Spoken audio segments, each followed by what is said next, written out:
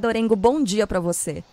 Muito bom dia, Carla, Sheila, Dora, bom dia a todos. Realmente um clima de tensão ainda em Brasília, são fatos inéditos que estamos presenciando, né, e com invasão do Congresso, Palácio e Supremo.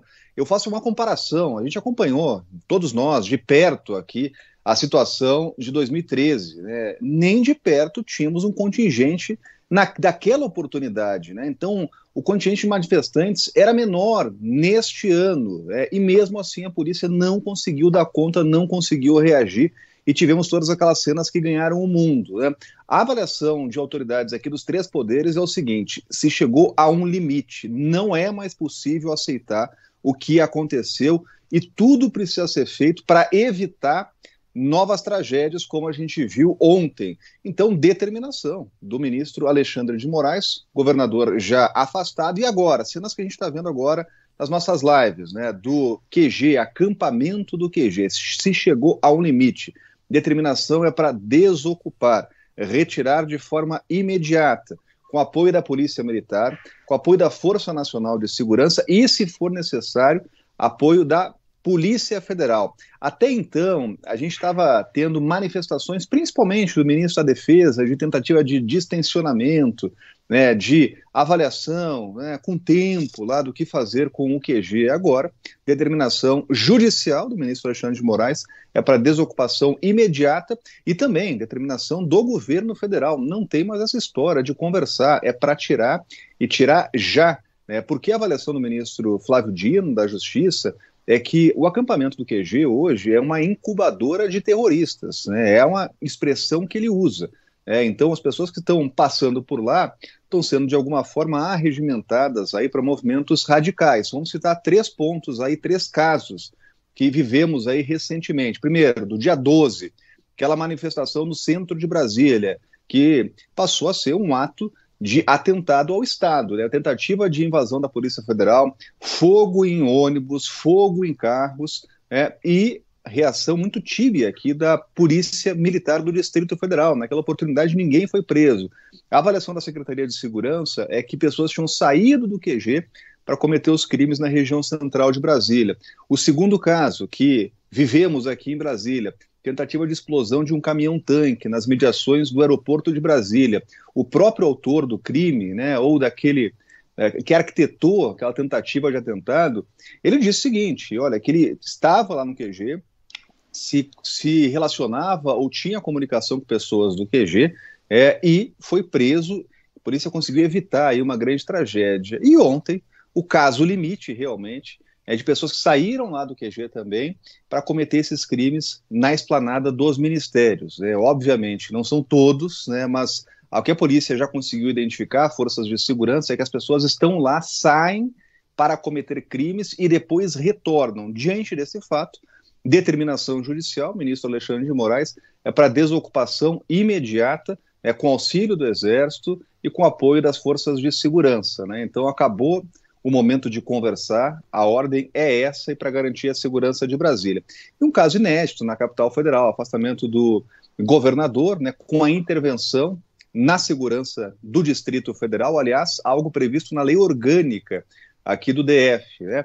Agora, o que a gente vai ver nos próximos dias é uma avaliação do Congresso Nacional. Então, os parlamentares vão se reunir numa reunião agora às 10 da manhã na residência oficial aqui, presidente do Congresso, Rodrigo Pacheco, Lira, líderes partidários, quem está fora pode participar aí de forma remota para decidir o que fazer nos próximos passos. Eu conversei com o primeiro secretário do Congresso Nacional, deputado Luciano Bivar, né, e ele muito irritado, né, estupefato aí com o que estava acontecendo, o que ele fez foi determinar o uso das câmeras de segurança, das imagens das câmeras de segurança do Congresso, porque hoje se não caminha no Congresso Nacional sem ter uma câmera apontada para você, mas o uso dessas imagens para identificar os criminosos e determinar aí a imediata punição, ajudar nas investigações. E ele fala, inclusive, em avaliação de uma nova legislação, né, para punir com mais rigor essas pessoas é, que cometem crimes invadem espaços públicos aqui em Brasília. E no Palácio do Planalto, a ordem até numa espécie de simbolismo, mostrar que o presidente está atuando,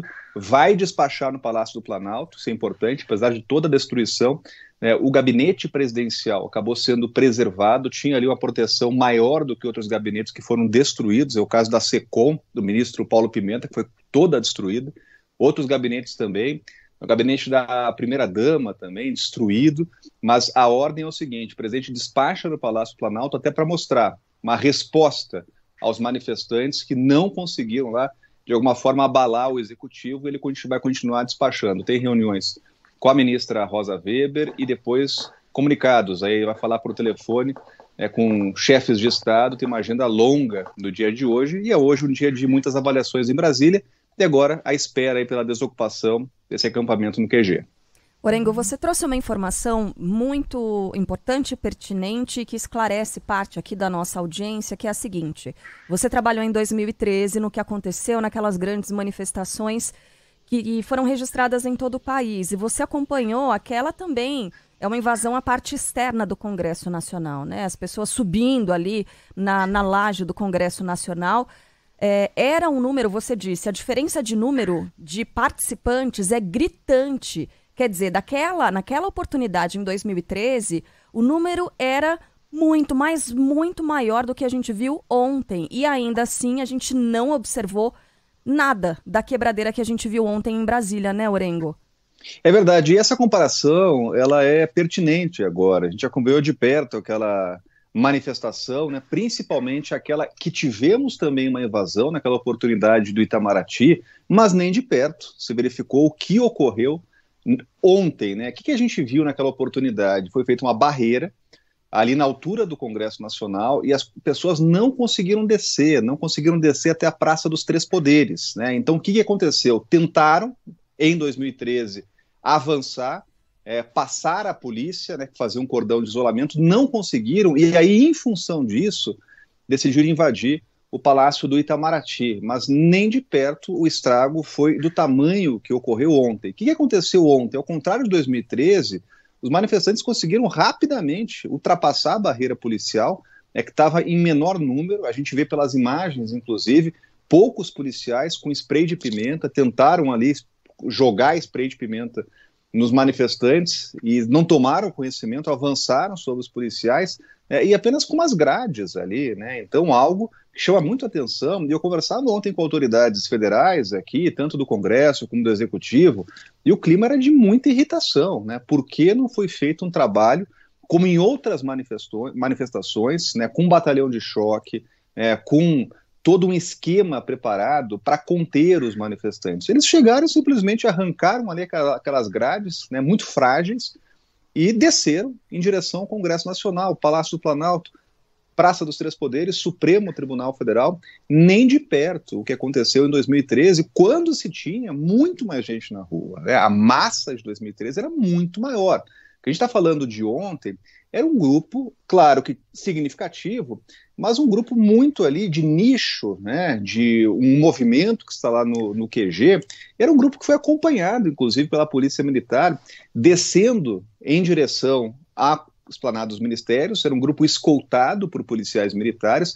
Quem registrou esse fato no ato foi o nosso repórter Túlio Amâncio, que estava lá gravando uma passagem, né, que é um trecho de uma reportagem para televisão na esplanada dos ministérios. Ele foi surpreendido quando chegou o contingente de manifestantes, acompanhado pela polícia militar, e foi inclusive agredido. Ele estava com o celular, era um tapa na mão dele, né, inclusive, é, e acabou retornando à redação, até por questão de segurança, e a gente continuou acompanhando. Mas, de qualquer forma, a comparação é pertinente agora. Em 2013, tinha muito mais gente na rua e a polícia conseguiu conter e evitar o avanço dos manifestantes para a Praça dos Três Poderes. Foi o que a gente não viu ontem. E a decisão judicial vai muito nesse sentido, né? Sobre fala de omissão, de leniência, até de negligência, é, e por isso a intervenção na segurança pública agora respondendo aí às forças de segurança ao governo federal.